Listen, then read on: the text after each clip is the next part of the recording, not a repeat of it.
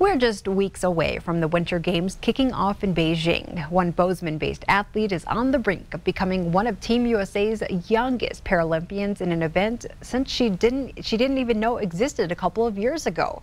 MTN's Ashley Washburn has the story. Well, it just felt like yesterday that the Summer Olympics wrapped up in Tokyo. We're now just a few weeks away from the Winter Olympics kicking off in Beijing. A Bozeman based athlete is on the brink of becoming one of Team USA's youngest Paralympians in an event she didn't even know existed a couple years ago. Me, 18 year old Lera Doederlein. It was the scariest decision I've ever made. And I didn't think it would be scary until the moment that I got to that surgery day. I was just like, am I really to do this?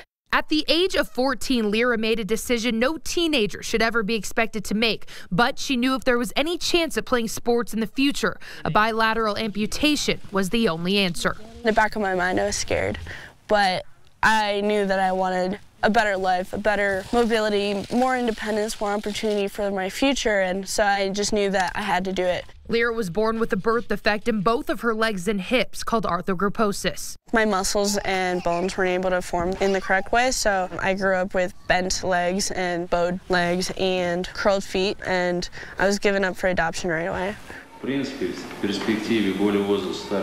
I was born in Russia, a really small town in Russia. They didn't have a lot of ability to take care of somebody with such complex medical disabilities. So two years after I was born, I was adopted from a family in the U.S. and I was basically put into braces as soon as they figured out I could walk after a few surgeries.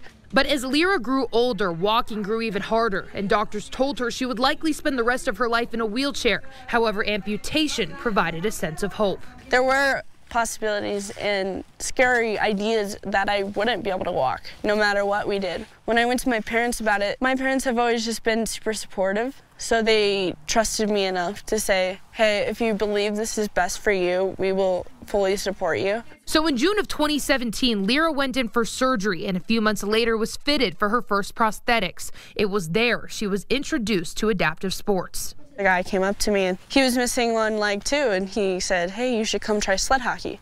And that was that was it. But it wasn't until 2019, after a bit of convincing, that she was introduced to the world of skiing by five time Paralympian and gold medalist Oksana Masters. I just kept saying I didn't have time, and then about a year later, she's like, hey, you should come to this event. It's a cool clinic. I got on the snow, and it was pretty much the exact same situation as hockey. I just fell in love with it. Two weeks later, I went to my first sit ski nationals. From then on, I just kept skiing. And a few months later, Lera was named to the national development team, finding her way to Bozeman, training for Beijing. It's crazy because two years ago, from now, seeing the growth that I've had, this has been pretty sweet to see. So if I do get chosen for that team, I will be ready to give it my all. Lera has qualified for Paranordic skiing under the Olympic standards, but it won't be for a few more weeks until she knows if she'll be competing for Team USA. In